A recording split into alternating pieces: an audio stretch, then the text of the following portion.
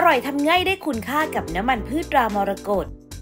วันนี้เราจะชวนคุณผู้ชมทำเมนูมัสมั่นไก่กันค่ะ พูดถึงเมนูนี้แล้วเชื่อว่าหลายคนคิดว่าทำยากทำยังไงถึงจะอร่อย แต่วันนี้เรามีเคล็ดลับง่าย ๆ ที่จะทำมัสมั่นไก่ อร่อยทำง่ายได้คุณค่า พร้อมแล้วไปลงมือทำกันเลยค่ะ วิธีทำเทน้ำมันรำข้าวรามรกตลงในภาชนะ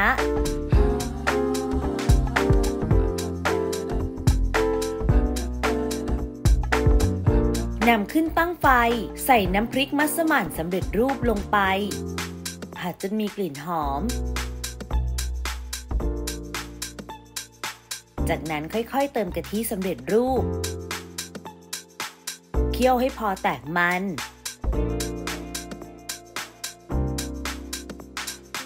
ใส่เนื้อไก่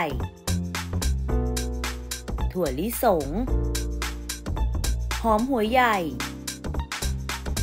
มันฝรั่งลงไปเคี่ยวต่อพอสุก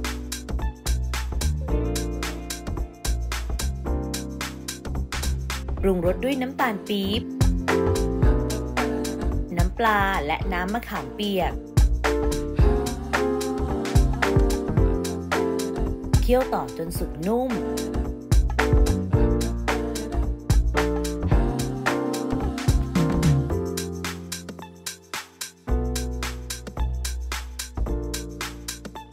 เพียงเท่านี้ก็เสร็จเรียบร้อยแล้วค่ะ กับเมนู มัสมั่นไก่ รับประทานคู่กับข้าวหอมมะลิหุงสุกหอมแดงแกะสลักและอาจาดตกแต่งด้วยอบเชยป่ยกาก และใบกระวาน อิ่มอร่อยได้แบบง่าย ๆ เลยแหละค่ะ